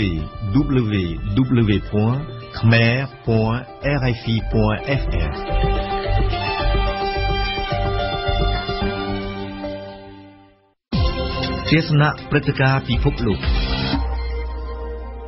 ដោយហេតុថាក្រោយពីអាខ័នអស់2ឆ្នាំទៅលោកស្រីនាយករដ្ឋមន្ត្រីអាល្លឺម៉ង់អេងកាឡាមេកែលបានដាច់ចិត្តមកធ្វើទស្សនកិច្ចផ្លូវការនៅរុស្ស៊ីកាលពីថ្ងៃទី2ឧសភាកន្លងទៅបានជាគេបន្តចាប់អារម្មណ៍ទៅលើព្រឹត្តិការណ៍នេះជាពិសេសមកពីលោកស្រីជាមេដឹកនាំប្រទេសក្បាលម៉ាស៊ីនសហភាពអឺរ៉ុបធ្លាប់បានថ្លែងថាដរាបណាដែលវិបត្តិអ៊ុយក្រែនមិនទាន់ដោះស្រាយរួចគាត់នឹងពុំមកជន់ទឹកដីរុស្ស៊ីឡើយសាច់រឿងនៃកិច្ចចរចាគឺអំពីទំនាក់ទំនងទ្វេភាគីវិបត្តិនៅអ៊ុយក្រែននិងស្ថានភាពនៅសេរីសូមអញ្ជើញស្ដាប់ការអធិប្បាយរបស់កែខេយ៉ាពីមូស្គូជាការកត់សម្គាល់ពេលចរចាគ្នាលោកប្រធានាធិបតីរុស្ស៊ី Vladimir Putin ដែលចេះភាសាអាល្លឺម៉ង់តែងាយយល់ពាក្យសម្ដីជាភាសាអាល្លឺម៉ង់ប្រើដោយលោកស្រីនាយករដ្ឋមន្ត្រីអាល្លឺម៉ង់ Angela Merkel ដែលពីចំណាយខ្លួនដោយចេះភាសារុស្ស៊ីក៏ងាយយល់ដែរគ្រាឃ្លួងជាភាសារុស្ស៊ីប្រើដោយប្រមុខរដ្ឋរុស្ស៊ីមូលហេតុមកពីលោកស្រី Merkel កាលនៅជានិស្សិត ដោយប្រឡងឈ្នះគេខាងភាសារុស្ស៊ីថែមទាំងបានទទួលរង្វាន់ឲ្យធ្វើដំណើរមកទស្សនាសហភាពសូវៀតទៅផងចំណែកលោកពូទីនក្នុងឋានៈជាភ្នាក់ងារសន្តិសុខសូវៀត KGB ធ្លាប់បានធ្វើការនៅសាធារណរដ្ឋប្រជាធិបតេយ្យអាល្លឺម៉ង់អស់4ឆ្នាំហើយគាត់បានចាកចេញពីទីនោះនៅខែមករាឆ្នាំ1990គឺ2ខែក្រោយពីជញ្ជាំងក្រុងបែកឡាំងត្រូវបានផ្ដួលឲ្យរលំទៅមិនតែប៉ុណ្ណោះ ក្រោយពីគាត់ឡើងកាន់តំណែងជាប្រធានាធិបតីរុស្ស៊ីសម័យថ្មីបានមួយឆ្នាំកន្លះនៅខែកញ្ញាឆ្នាំ2001គាត់ថែមទាំងត្រូវបានអញ្ជើញឲ្យទៅថ្លែងសុន្ទរកថាជាភាសាអាល្លឺម៉ង់ក្នុងរដ្ឋសភាអាល្លឺម៉ង់ញ៉ាំងឲ្យមានការភ្ញាក់ផ្អើលយ៉ាងខ្លាំងលទ្ធផលនៃកិច្ចចរចាត្រូវបានមានដឹកនាំប្រទេសទាំងពីរប្រកាសឲ្យដឹងក្នុងសន្និសីទកាសែតរួមគ្នាអំពីទំនាក់ទំនងទ្វេភាគី លោកប្រមុខរដ្ឋរុស្ស៊ីពូទីនគូបញ្ជាក់ថាអាល្លឺម៉ង់បន្តស្ថិតនៅជាដៃគូសេដ្ឋកិច្ចនាំមុខគេរបស់រុស្ស៊ីនៅទ្វីបអឺរ៉ុបដំណើរការនៅរុស្ស៊ីគឺសហគ្រាស5000កន្លែងដែលមានដើមទុនអាល្លឺម៉ង់រុស្ស៊ីប្រាថ្នារៀបរយសារប្រតិបត្តិការជាមួយអាល្លឺម៉ង់ដោយឈលលើគោលការណ៍ទទួលស្គាល់ផលប្រយោជន៍ម្ខាងម្ខាងគោរពគ្នាទៅវិញទៅមកនិងស្មើភាពអំពីស្ថានភាពក្នុងពាណិជ្ជកម្មទ្វេភាគីយើងសង្កេតឃើញដោយសមនោះ មានការកើនឡើងបាន43%ទំហំផ្ដោះប្ដូរទៅវិញទៅមកក្នុងខែមករានិងកុម្ភៈឆ្នាំ2017នេះខ្ញុំក៏សូមគាត់សម្គាល់ថាអាល្លឺម៉ង់ជាប្រទេសដែលទិញអូស្មန်រុស្ស៊ីច្រើនជាងគេដល់ទៅ35%នៃតម្រូវការទីផ្សារអាល្លឺម៉ង់ខាងធម្មពលនេះគួរដកគ្នានិយាយថាតាមតួលេខមជ្ឈដ្ឋាន Business អាល្លឺម៉ង់បើក្នុងឆ្នាំ2012គឺមុនព្រឹត្តិការណ៍នៅអ៊ុយក្រែនទំហំផ្ដោះប្ដូរពាណិជ្ជកម្មរវាងរុស្ស៊ីនិងអាល្លឺម៉ង់ បានមានទឹកប្រាក់ដល់80ពាន់លានអឺរ៉ូនោះក្នុងឆ្នាំ2016គឺក្រោយពីសហភាពអឺរ៉ុបបានដាក់ទណ្ឌកម្មរុស្ស៊ីតាំងពីឆ្នាំ2014មកទំហំផ្ដោះប្ដូរនេះបានធ្លាក់ចូលដល់50ពាន់លានអឺរ៉ូ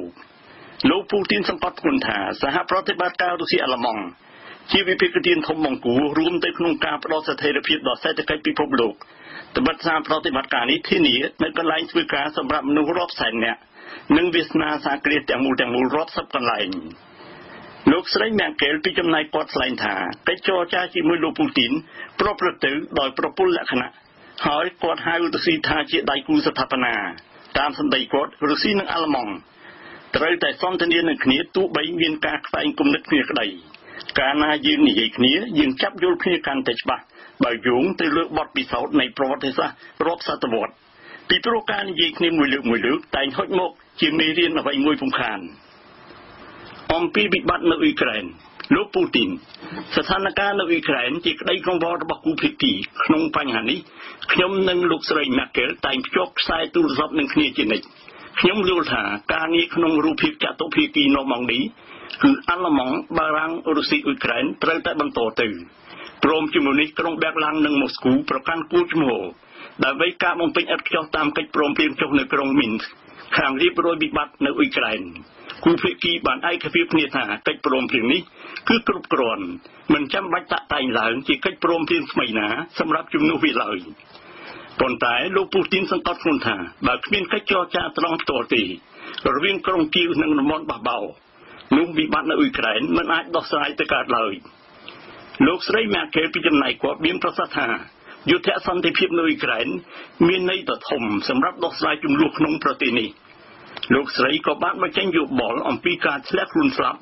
នៅតំបន់បាបោខាងកើតអ៊ុយក្រែននៃសារការិម្នាក់ក្នុងក្រុមល្បាតរបស់អង្គការដើម្បីសន្តិសុខនិងសហប្រតិបត្តិការនៅអឺរ៉ុប OSCE ការងារ OSCE គឺសំខាន់ណាស់ប៉ុន្តែគួរឲ្យក្រៀមក្រំដែលក្រុមអ្នកបំពេញមុខងារ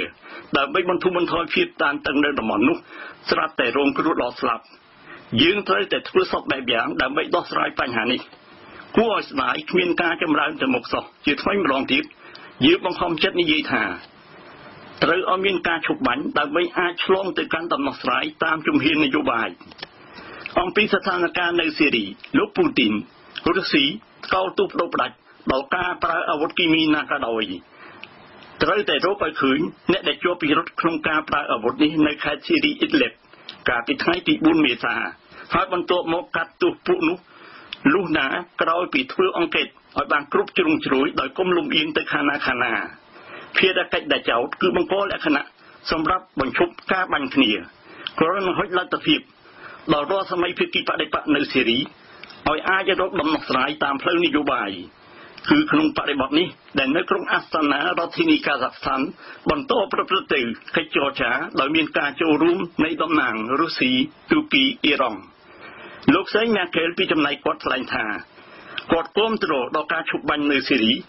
និងត្រៀមសហការឲ្យកាន់តែដិតដល់ជាមួយរុស្ស៊ីក្នុងការប្រយុទ្ធទល់នឹងភាវៈនិយម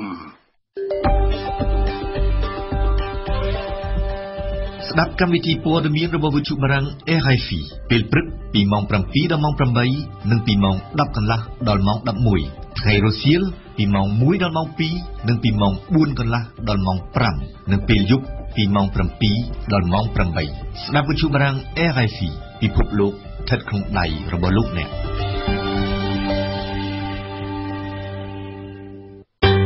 ទេសនាសាព័ត៌មាននៅក្នុងនីតិទេសនាសាព័ត៌មានរបស់យើងនៅថ្ងៃនេះគឺជាការរៀបចំជូនដោយសឿងភិរៈសូមអញ្ជើញស្ដាប់ កសែតចុះផ្សាយនៅថ្ងៃសុក្រនេះបានចាប់អារម្មណ៍លើប្រធានរឿងផ្សេងផ្សេងគ្នាកសែតខ្លះចាប់អារម្មណ៍នឹងរឿងលោកនាយករដ្ឋមន្ត្រីហ៊ុនសែនឈឺហើយកសែតខ្លះទៀតបានចាប់អារម្មណ៍នឹងរឿងបរិស្ថាននិងធនធានធម្មជាតិ ដំបូងគួយនេះគឺជាកាសែតភ្នំពេញប៉ុស្តិ៍ភ្នំពេញប៉ុស្តិ៍នៅព្រឹកនេះបានដាក់រូបភាពធំមួយនៅលើទំព័រមុខរបស់ខ្លួន ហើយខាងក្រោមរូបភាពនេះកាសែតបានសរសេរថាចៅប្រុសរបស់លោកនាយករដ្ឋមន្ត្រីហ៊ុនសែននៅក្បាលលោកខណៈលោកសម្រាប់ព្យាបាលជំងឺនៅមន្ទីរពេទ្យក្នុងប្រទេសសង្ហបុរី ខាងក្រោមនោះទៀតគឺកាសែតបានសរសេរចំណងជើងឲ្យសាច់រឿងរបស់ខ្លួនថាលោកហ៊ុនសែនធ្លាក់ខ្លួនឈឺកំពុងព្យាបាលនៅពេទ្យសង្ហបុរី ភ្នំពេញប៉ុស្តិ៍បានសរសេរសាច់រឿងរបស់ខ្លួនបន្តថាលោកនាយករដ្ឋមន្ត្រីហ៊ុនសែនកាលពីថ្ងៃម្សិលមិញបានថ្លែងសារតាមប្រព័ន្ធផ្សព្វផ្សាយសង្គមថាលោកបានចូលសម្រាប់ព្យាបាលនៅមន្ទីរពេទ្យសង្ហបុរីដោយសារធ្លាក់ខ្លួនមានជំងឺព្រោះហត់នឿយខ្លាំងភ្នំពេញប៉ុស្តិ៍បានបន្តថាលោកនាយករដ្ឋមន្ត្រីហ៊ុនសែនបានចាក់ចេញពីប្រទេសកម្ពុជាកាលពីរសៀលថ្ងៃទី3ខែឧសភាហើយគ្រោងត្រឡប់មកវិញនៅថ្ងៃទី7ខែឧសភាខាងមុខនេះ កាសែតខ្មែរថាមអនុវិញក៏បានចាប់អារម្មណ៍នឹងរឿងនេះដែរប៉ុន្តែកាសែតនេះបានសរសេររឿងនេះនៅក្នុងទំព័របន្ទាប់របស់ខ្លួនខ្មែរថាមបានសរសេរថាលោកនាយករដ្ឋមន្ត្រីហ៊ុនសែនដែលមានអាយុ64ឆ្នាំបានចូលសម្រាកក្នុងមន្ទីរពេទ្យកាលពីថ្ងៃពុធហើយលោកបានលុបចោលជំនួបជាមួយនឹងមន្ត្រីមួយចំនួនរហូតដល់ថ្ងៃអាទិត្យ យើងបញ្ចប់រឿងនេះត្រឹមតែប៉ុណ្ណេះសិនដោយបន្តចាប់អារម្មណ៍នឹងរឿងនៅលើកាសែត Cambodia Daily វិញម្ដង Cambodia Daily នៅព្រឹកនេះបានចាប់អារម្មណ៍នឹងរឿងរូបភាពផ្កាយរណបបង្ហាញថា មានការកាប់បំផ្លាញព្រៃឈើនៅដែនជម្រកសត្វព្រៃ កាសែតបានសរសេរសាច់រឿងបន្តថារូបភាពផ្កាយរណបថ្មីស្ដីពីតំបន់ភៀកកណ្ដាលនៃប្រទេសបង្ហាញឲ្យឃើញពីការបន្តកាប់បំផ្លាញព្រៃឈើល្អៗរាប់ម៉ឺនហិកតានៅក្នុងតំបន់ការពារមួយក្នុងចំណោមតំបន់ការពារផ្សេងទៀតបន្ទាប់ពីរដ្ឋាភិបាលបានប្រកាសចាត់វិធានការបង្ក្រាបទ្រង់ទ្រាយធំលើការកាប់បំផ្លាញព្រៃឈើបែបនេះដែលអនុវត្តដោយក្រុមហ៊ុនចំការកៅស៊ូនានានៅលើទំព័រកាសែតដដែលនេះក៏បានចាប់អារម្មណ៍នឹងរឿងកម្ពុជាបើការដ្ឋានសាងសង់រោងចាក់ចម្រាញ់ប្រេងកាតលើកដំបូងរបស់ខ្លួនកាសែត Cambodia Daily បានសរសេរថាក្រសួងរាយនឹងធម្មពលបានប្រកាសនៅលើទំព័រ Facebook របស់ខ្លួនកាលពីម្សិលមិញមានការចាប់ផ្ដើមបើកការដ្ឋានសាងសង់រោងចក្រចម្រាញ់ប្រេងកាតលើកដំបូងរបស់ប្រទេសកម្ពុជានៅក្នុងខេត្តព្រះសីហនុជាគម្រោងដ៏ធំមួយក្នុងទំហំទឹកប្រាក់1.6លានដុល្លារអាមេរិកសម្រាប់នាំចេញទៀតផងក្រសួងរាយបានឲ្យដឹងតាមបណ្ដាញសង្គមរបស់ខ្លួនទៀតថារោងចក្រចម្រាញ់ប្រេងកាតរបស់ក្រុមហ៊ុន Cambodia Petrochemical Co Ltd នឹងសាងសង់ជាពីរដំណាក់កាលដំណាក់កាលទី1នឹងបញ្ចប់នៅក្នុងអំឡុងពាក់កណ្ដាលឆ្នាំ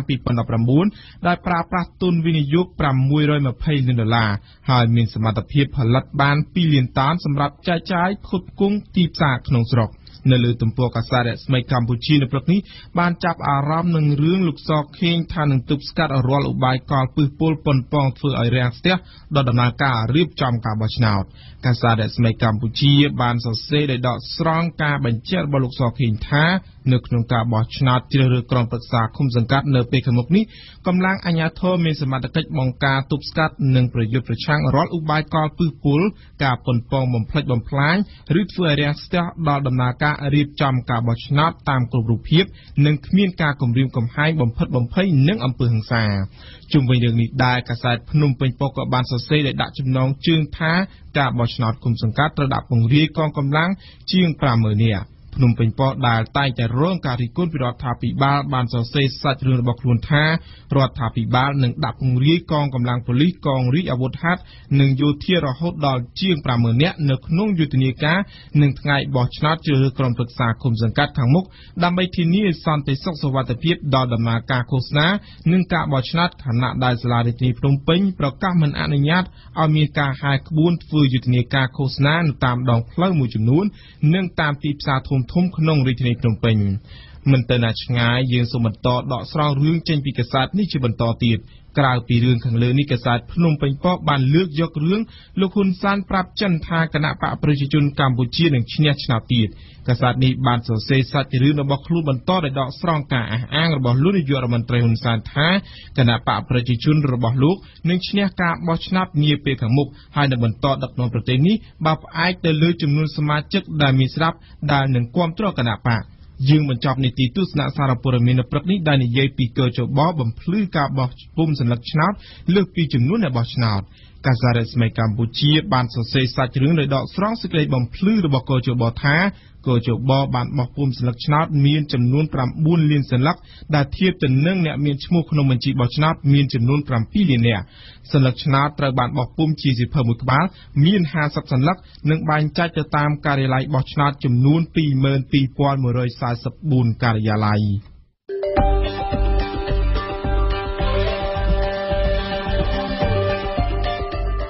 ព័ត៌មានទាំងនេះអាចអានឬស្ដាប់ឡើងវិញនៅក្នុងគេហទំព័ររបស់យើង www.khmer.rfi.fr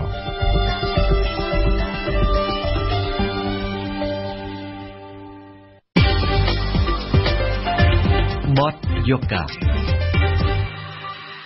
ភូមិព្រៃស្រឡៅគឺជាភូមិមួយដែលមានចម្ងាយប្រមាណពី2ទៅ3គីឡូម៉ែត្រចេញពីផ្សារអូរាំងអឺនៃខេត្តត្បូងឃ្មុំចូលទៅតាមផ្លូវលំដែលលំបាកហើយបន្តធ្វើដំណើរចូលតាមផ្លូវដីក្រហមទើបទៅដល់ភូមិព្រៃស្រឡៅអ្នកភូមិនេះសុទ្ធសឹងតែជាអ្នកស្រែចម្ការស៊ីឈ្នួលជំរះស្មៅចម្ការកៅស៊ូដែលឡែកកូនចៅគឺជាកម្មកររោងចក្រពលរដ្ឋនៅក្នុងភូមិខ្លះក៏បានចំណាក់ស្រុកទៅខេត្តជាដែនប្រទេសថៃនិងប្រទេសកូរ៉េផងដែរភាគច្រើនបំផុតនៃអ្នកភូមិនៅទីនោះចង់បានការយកចិត្តទុកដាក់ទៅលើបញ្ហាកសិកម្មដែលរដ្ឋមិនបានយកចិត្តទុកដាក់បន្ថែមពីនេះពួកគាត់ចង់បានហេដ្ឋារចនាសម្ព័ន្ធល្អនិងស្ថិរភាពសង្គមផងដែរបើទោះបីជាពលរដ្ឋនៅមានការខ្វះខាតសម្រាប់ជីវភាពប៉ុន្តែពួកគាត់ឲ្យតម្លៃខ្ពស់ចំពោះការបោះឆ្នោតក្រុមប្រឹក្សាគុំសង្កាត់ដែលនឹងឈានចូលមកដល់ប្រមាណ1ខែទៀតប៉ុណ្ណោះសូមអញ្ជើញស្ដាប់បទយកការរបស់ស៊ុនមេសាធ្វើកសិករ99%ឥឡូវ ដោយសារតែមានសំណង់មានអីច្រើនហើយហ្នឹងគេធ្វើសំណង់ឬក៏អ្នកខ្លះទៅស៊ីឈ្នួលដកដឡងឬក៏ទៅស្វាយចន្ទីអញ្ចឹងណាទៅតាមមុខជំនាញរៀងខ្លួនអញ្ចឹង មិនអាចកំណត់ថាម្នាក់នឹងគឺត្រូវធ្វើសំណង់អ្នកប្រុសប្រុសគឺធ្វើសំណង់ភូមិព្រៃស្រឡៅគឺជាភូមិដាច់ស្រយាលមួយចេញពីផ្លូវជាតិនិងផ្លូវលំប្រមាណពី2ទៅ3គីឡូម៉ែត្រចេញពីផ្សារអូរាំងឪនៃខេត្តត្បូងឃ្មុំនៅភូមិនេះប្រជាពលរដ្ឋមានជួបការលំបាកច្រើនអ្នកខ្លះគឺជាអ្នកចម្រះស្មៅនៅក្នុងចំការកៅស៊ូអ្នកខ្លះគឺជាអ្នកធ្វើស្រែចម្ការតាមយថាកម្មនិងមានកូនចៅអ្នកភូមិមួយចំនួនគឺជាកម្មកររោងចក្រកាត់ដេរនិងជាកម្មករសំណង់ ហើយក្រុមគ្រួសារខ្លះក៏មានសំណាងដែលកូនចៅបានទៅធ្វើការនៅប្រទេសកូរ៉េផងដែរយើងអាចនិយាយបានជាទូទៅថាប្រជាពលរដ្ឋនៅទីនោះមានជួបការលំបាកជាច្រើនគ្រួសារផងដែរប៉ុន្តែអ្នកភូមិដែលមានសមាជិកអ្នកបោះឆ្នោតចំនួន500នាក់នេះសុទ្ធសឹងតែបដិញ្ញាទៅបោះឆ្នោតក្រុមប្រឹក្សាគុំសង្កាត់ដែលនៅសល់តែមួយខែទៀតតែប៉ុណ្ណោះជាបុរសមេគ្រួសារនិងជាអ្នកចិញ្ចឹមមាន់ខ្នាតតូចមួយសម្រាប់គ្រួសារទៅរៀបចំទៅអីរួចអស់ហើយឯកសារទៅអីមានគ្រប់តបហើយ បោះឆ្នោតជារឿងសំខាន់ណាស់អឺថាយើងជាម្ចាស់ឆ្នោតបើយើងគិតថាมันសំខាន់វាមិនកើតទេយើងត្រូវតែជ្រើសតាំងនៅអ្វីដែលយើងបានឃើញថាល្អយើងឃើញថាពេញចិត្តការរត់ដឹកនាំល្អយើងបោះឲ្យទៅគឺវាល្អទៅថ្ងៃមុខក្រៅពីបរិសម្នាក់នេះ ស្ត្រីមេផ្ទះចំនួន2រូបផ្សេងទៀតក៏បានឲ្យតម្លៃខ្ពស់ចំពោះការបោះឆ្នោតផងដែរញៀនទៅម៉េចខាងមិនចោលទេហើយដែលបានបោះឆ្នោតសំខាន់សំខាន់លើប្រជាជនសំខាន់ខ្លាំងណាស់នៅដល់ណាក៏ត្រូវតែមកដែរមួយខាងអង្គការយើងសុកស្រួលហើយដែលអញ្ចឹងជាបរដ្ឋត្រូវតែគិតគូរបោះឆ្នោតសំបីតែរើសខាងភូមិភូមិសង្កាត់ក៏មិនខានដែរនេះមកដល់ខាង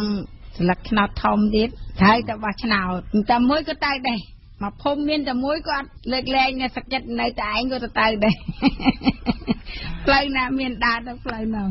មុនធ្វើការធ្វើការគេចាប់ទៅហ៊ានមុនធ្វើការធ្វើការគេរត់ទៅនេះរត់ទៅនៅឥឡូវអត់ទេកុំឲ្យតែយើងដាច់ជន់គេដើរវាយគេបងស្រីម្នាក់ទៀតដែលមានរៀងស្រអែមនិងសក់ស្កូវបន្តិចហើយមានកូនពននៅនឹងដៃផងដែរទៅមិនចុះឈ្មោះហើយហើយ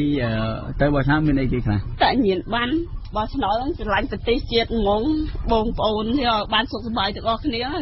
ដឹកនាំល្អពួកគាត់សុទ្ធតែជាអ្នកយល់យ៉ាងច្បាស់អំពីសារៈសំខាន់នៃការបោះឆ្នោតបើទោះបីជាការបោះឆ្នោតឃុំសង្កាត់នេះពេលខាងមុខឬក៏ការបោះឆ្នោតថ្នាក់ជាតិឆ្នាំ2018ក៏ដោយ សូមបញ្ជាក់ថានៅសល់តែប្រមាណ1ខែទៀតតែប៉ុណ្ណោះការបោះឆ្នោតក្រុមប្រឹក្សាឃុំសង្កាត់នឹងត្រូវធ្វើឡើងដែលមានគណៈបកនយោបាយចំនួន12ចូលរួមរីចម្រើនមិនទេដោយសារពាក់ព័ន្ធនឹងកម្រៃរបស់គាត់ទៀតអញ្ចឹងការហូបចុកតំណែងឬក៏របស់របរយើងទិញគឺថ្លៃដែរអញ្ចឹងវាបានតែធ្វើមកហូបចុកឬក៏អ្នកខ្លះ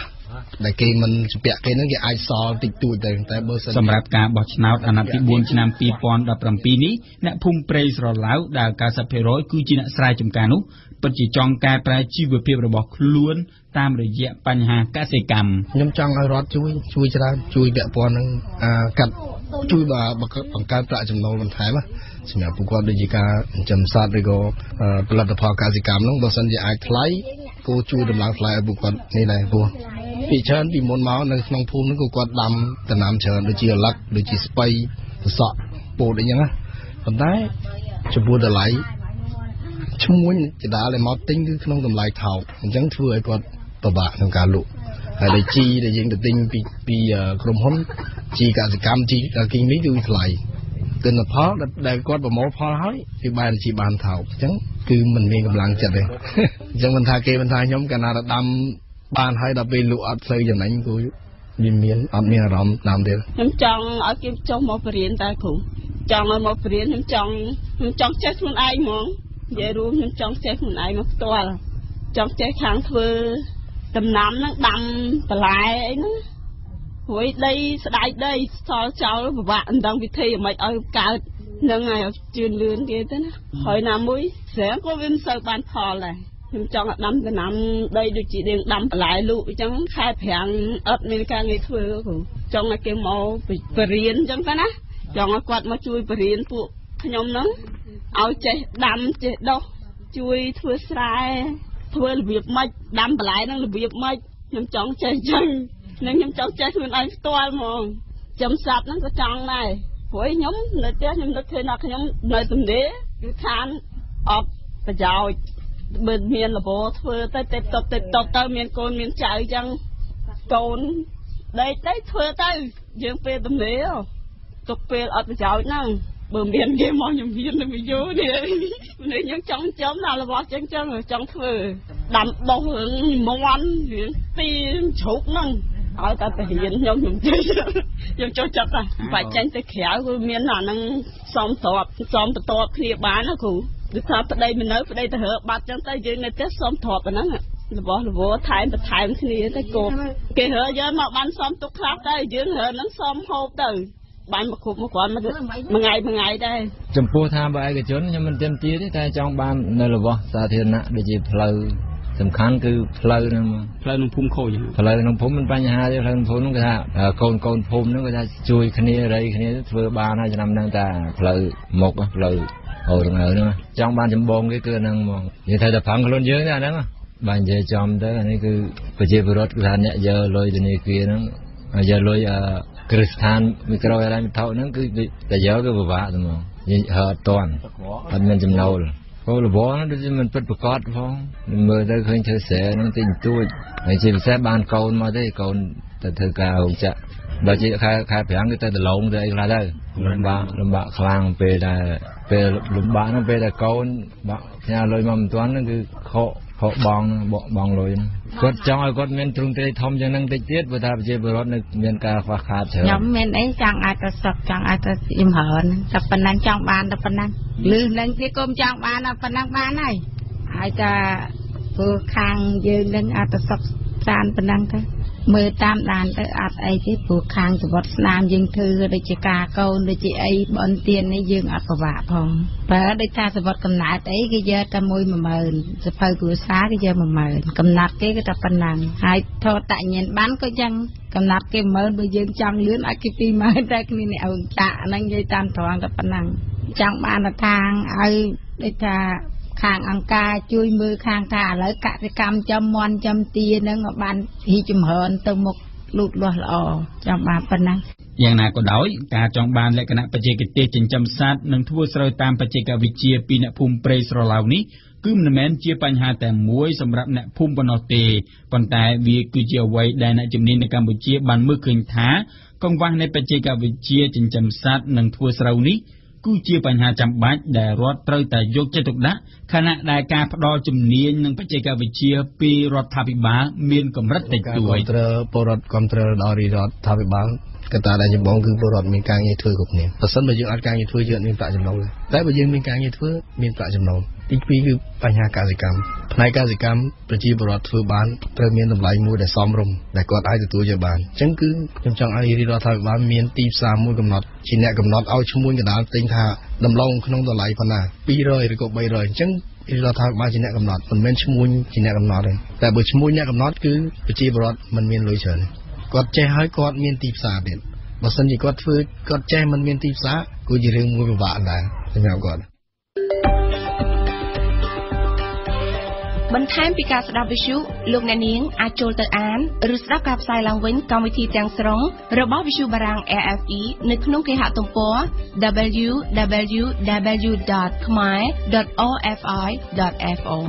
ឬជាភាសាបារាំង www.khmer.rfi.fr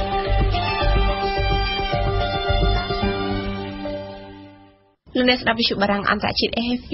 នៅពេលនេះកម្មវិធីព័ត៌មានរយៈពេលពេញ1ម៉ោងរបស់យើងបានឈានចូលមកដល់ទីបញ្ចប់សូមអរគុណចំពោះការយកចិត្តទុកដាក់តាមដានស្ដាប់របស់អស់លោកអ្នកនៅពេលបន្តិចទៀតនេះលោកអ្នកនឹងបានស្ដាប់ព័ត៌មានជាភាសាបារាំងហើយនៅម៉ោង8:30នាទីលោកអ្នកនឹងបានស្ដាប់បន្តព័ត៌មានខ្លីតាមរយៈវិទ្យុបារាំងអន្តរជាតិសូមអរគុណសេហាដែលបានជួយបញ្ជាខាងផ្នែកបច្ចេកទេសនៅពេលនេះនាងខ្ញុំប៉ុនសុភ័ណ្ឌនិងសហការីវិទ្យុបារាំងអន្តរជាតិ AFP សូមអរគុណសូមជម្រាបលា